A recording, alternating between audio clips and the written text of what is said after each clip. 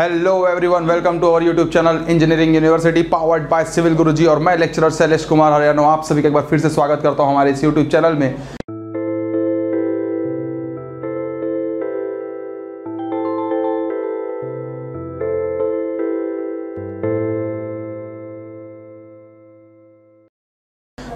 आज जो हम बात करने वाले हैं, वो है टेस्ट ऑफ़ सीमेंट मतलब किस किस टाइप के और कितने टाइप के टेस्ट होते हैं आपके सीमेंट के लिए, आज हम उसके बारे में जानेंगे।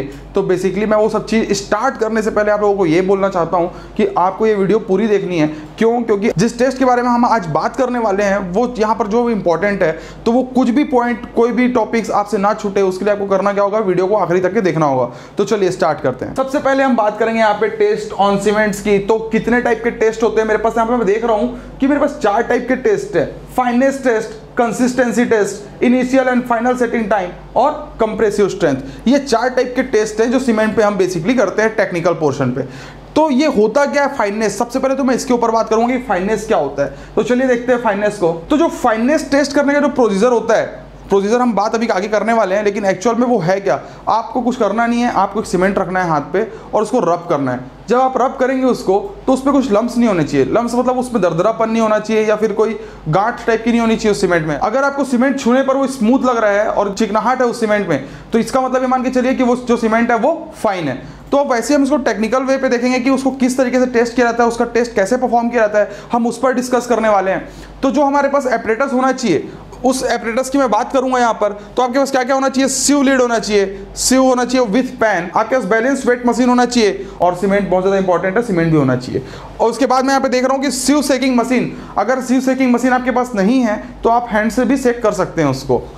तो यहाँ पर हमको करना क्या होगा? इस एपरेटस के थ्रू हमको करना क्या है? सबसे पहले आपको क्या करना होगा? सीमेंट लेना होगा। चाहे आप किसी भी कैटेगरी का सीमेंट ले लीजिए, चाहे वो ओपीसी हो पीपीसी हो, चाहे आपको जो भी सीमेंट लेना है, आपको अगर टेस्ट करना है तो आपके पास क्या करना है आपको? 100 ग्राम सीमेंट लेना है। और 100 ग्राम को कैसे आप मीजर करेंगे? इस वेट बैलेंस मशीन के थ्रू आप क्या करेंगे? 100 ग्राम सीमेंट को ले लेंगे।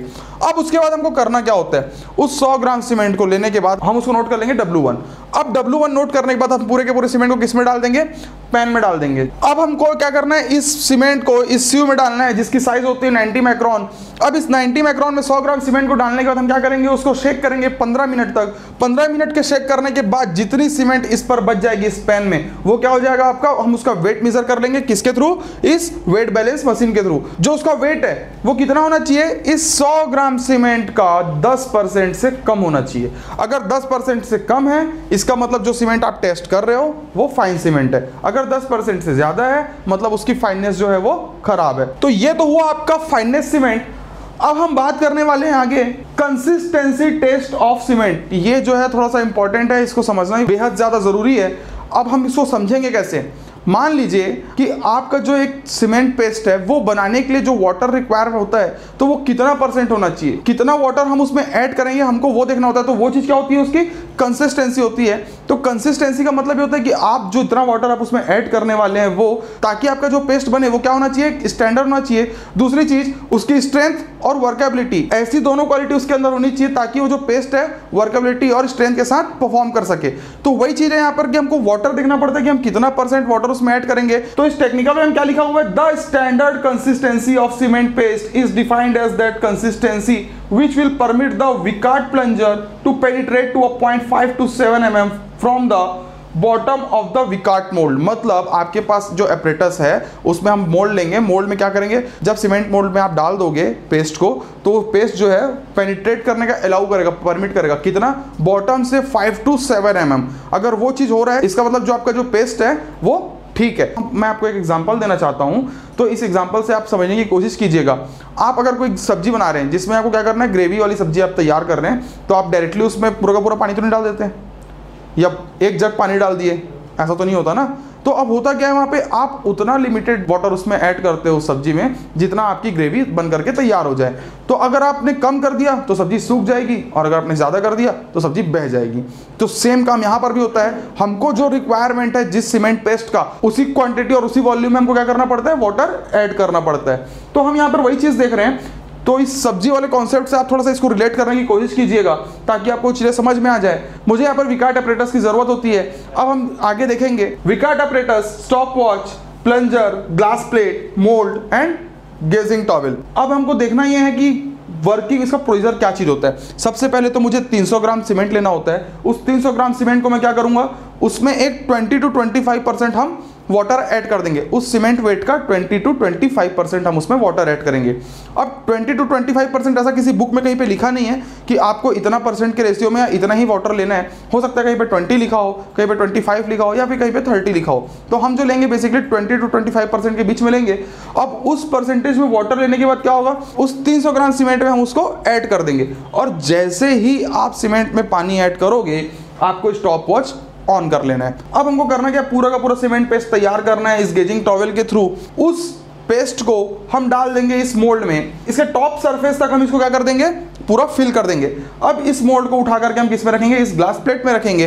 अब इस ग्लास प्लेट के बाद हम क्या करेंगे यहाँ पर? इस विकाट ऑपरेटर्स में प्लंजर सेट करेंगे। प्लंजर को सेट करेंगे। यहाँ पर कुछ स्केल टाइप का आपको दिख रहा होगा। यहाँ पर स्केल में रीडिंग लिखी हुई है। अब ये मोल्ड यहाँ पर हम रख देंगे इस ग्लास प्लेट के साथ में। अब यहाँ पर से हम इसको क्या करेंगे? छोड़ देंगे। अब हम देखेंगे क्या चीज़ को? कि इस मोड को हम यहाँ पे रख दिया और छोड़ने के बाद ये जितना ज़्यादा पेनिट्रेट हो रहा है फाइव टू सेवन एम में, कितना टाइम लग रहा है हमको वो देखना है, उसके बाद कितना पेनिट्रेट हुआ हमको वो चीज़ भी देखनी है। तो हम दोनों का रीडिंग ले लेंगे। अब दोनों का रीडिंग लेने के बाद आपका क्या हो गया? आप यहाँ पर से आप कैलकुलेशन स्टार्ट करोगे कि आपका जो वाटर आपने ऐड किया है वो कितने परसेंटेज पे है? तो वो कैलकुलेशन कैसे होगा? अभी हम वो आगे डिस्कस करने वाले हैं। तो अब मैं बात करता हूँ इसके कैलकुलेशन की। तो जो स्टैंडर्ड कंसिस्टेंसी का जो फॉर्मूला होता है, वो क्या बोलता है? Weight of water added divided by weight of cement into 100 आपने जितना वाटर उसमें ऐड किया है, उसका वेट और उसके बाद आपने जितना सीमेंट लिया है, उसका वेट इन दोनों के वेट को क्या करेंगे? आपस में डिवाइड करेंगे और मल्टीप्लाई करेंगे किससे? 100 से। तो क्या निकल जाएगा यहाँ पर? यहाँ पर आपका निकल जाएगा स्टैंडर्ड कंसिस्टेंसी तो ये जो फॉर्मूला है आपका कंसिस्टेंसी स्टैंडर्ड कंसिस्टेंसी निकालने का फॉर्मूला है, इसी के बेसिस पे आप क्या करेंगे? अपना कैलकुलेशन परफॉर्म कर सकते हैं। अगर मैं रिपोर्ट की बात करूँ तो रिपोर्ट में आपको क्या होगा? जो आपका आंसर आया है, जो आपने अभी यहाँ पे कैलकुलेशन किया है, उसी कैलकुलेशन का हमको क्या करना रहेगा? रिपोर्ट बनाना रहेगा। अब रिपोर्ट में होता क्या है? जो वाटर आपने ऐड किया था, वो जो रेशियो है ट्वेंटी टू ट्वेंटी परसेंट के बीच में आ रहा है। इसका मतलब आपका जो टेस्ट है, वो सक्सेसफुल रहा है। अगर इस बीच में आपका टेस्ट क्या होता है? वो जो रेशियो है 20 परसेंट से नीचे चला जाता है या फिर 25 परसेंट से एक्सेस कर लेता है, इसका मतलब आपको वो टेस्ट दोबारा परफॉर्म करना पड़ेगा। या आप दो से तीन बार ट्रायल ले सकते हैं, या अलग अलग टाइप के सीमेंट में भी इसको टेस्ट आप कर सकते हैं। प्रोसीजर सेम फॉलो होगा। अब यहाँ पर हम बात करेंगे कि सीमेंट का जो टेबल है, चार टर्म कैसे बनाएँगे। तो यहाँ पर रहेगा सैंपल नंबर सैंपल नंबर मतलब आपके पास जो सैंपल है, आप उसका नंबरिंग कर सकते हैं। जैसे आपने एक सीमेंट लिया पीपीसी का, एक एलएससी का लिया तो जो भी नंबर आप करेंगे, उसमें आप नंबरिंग लिख सकते हैं। उसके बाद सोर्स है लोकेशन की जिस लोकेशन और जिस सोर्स से आप जहाँ पे कर रहे हैं, उस लोकेशन और चीज़ का वहाँ पे डिटेल आप फिल कर देंगे। उसके बाद सीमेंट मैन्युफैक्चर डालेंगे grade and type of cement fill करेंगे। ये सारी चीज़ें फिल करने के बाद आप यहाँ पर क्या करेंगे? डेट ऑफ़ सैंपलिंग किस डेट में आप सैंपल ले रहे हैं? उसके बाद टेस्टिंग डेट डालेंगे, फिर टेस्टेड बाय मतलब जिस इंजीनियर के द्वारा या फिर जो भी पर्सन इसको क्या कर रहा है टेस्ट कर रहा है, इस टेस्ट को परफॉर्म कर रहा है, चाहे वो लैब अटेंडेंट हो, चाहे कोई भी हो तो उसको क्या होगा वहाँ पर? नाम अपना फिल करेगा।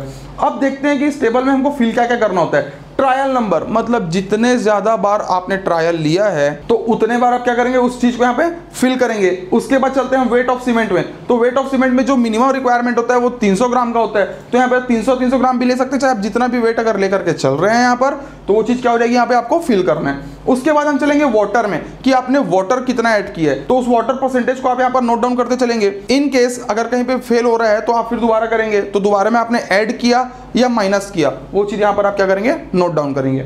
उसके बाद वाटर परसेंटेज मतलब जो वाटर आपने लिया उसका परसेंटेज कितना है? उस सीमेंट के कंपैरिजन में। तो यहाँ पे वाटर परसेंटेज भी लिख लेंगे।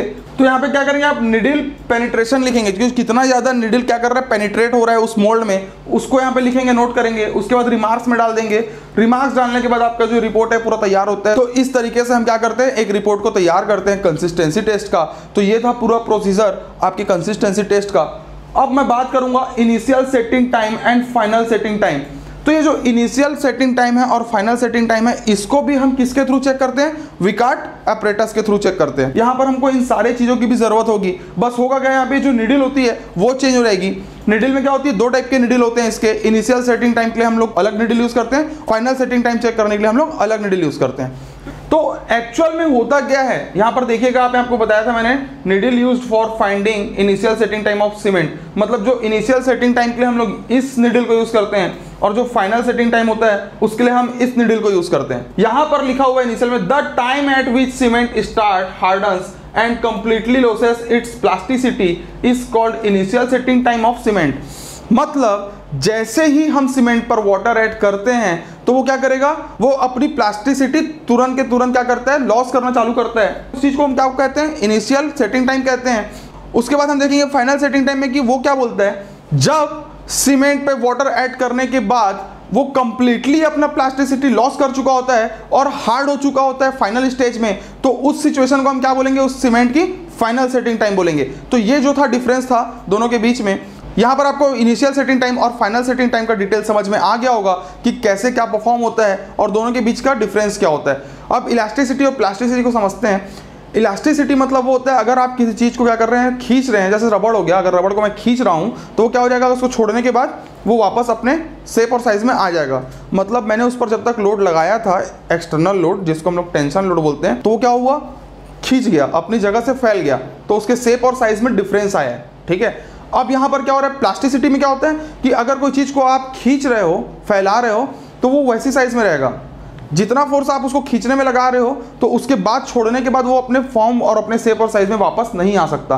तो ये चीज़ होती है प्लास्टिसिटी तो वही प्लास्टिसिटी क्या करता है? वो जैसे हम उस पर वाटर ऐड करेंगे तो वो लूज होते चले जाता है और हार्ड होना स्टार्ट होता है। तो जो हार्ड होना स्टार्ट होता है, वो जो पोर्सन होता है, आपका इनिशियल सेटिंग टाइम होता है। जब सीमेंट की प्लास्टिसिटी टोटली लॉस हो चुकी होती है, जब वो परफेक्टली हार्ड हो जाता है तो उस चीज़ को हम उसकी फाइनल सेटिंग टाइम बोलते हैं। अब मैं बात करूँगा compressive strength test on cement compressive strength मतलब ये है कि इसको देखिएगा, ये पेन है। अब इस पेन पे मैं क्या कर रहा हूँ? अगर मैं लोड लगा रहा हूँ तो ये कंप्रेशन होगा और अगर मैं इसको खींचूँगा तो ये टेंशन हो जाएगा।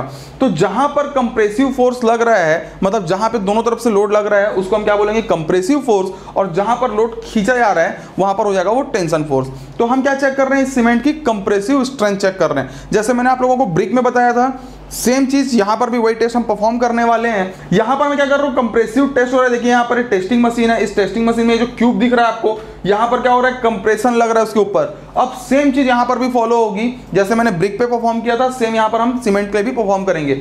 जैसे क्या होगा, इस पर हम लोड को बढ़ाते जाएँगे तो आपको यहाँ पर एक वैल्यू मिलेगी, जहाँ पर क्या हो जाएगा? ये क्रश हो जाएगा, या फिर टूट जाएगा। तो वो जो पॉइंट होगा, इस सीमेंट का कंप्रेसिव स्ट्रेंथ होगा। वो किस मूवमेंट पे जाकर के ब्रेक हो रहा है या क्रश हो रहा है? वो जो सीमेंट है वो सीमेंट कितना ज़्यादा कंप्रेशन ले सकता है कंप्रेशन उसमें कितना है तो वो चीज़ को हमको चेक करना होता है, क्योंकि सीमेंट में क्या होता है? कंप्रेशन होता है। ये कंप्रेशन मेंबर है, ये कंप्रेशन लोड को ले सकता है, इसलिए हम इसके कंप्रेसिव टेस्ट करते हैं परफॉर्म करते हैं। तो ये थी पूरी बात टेस्ट के ऊपर कि सीमेंट किस किस टाइप के टेस्ट होते हैं और उसको परफॉर्म कैसे किया जाता है।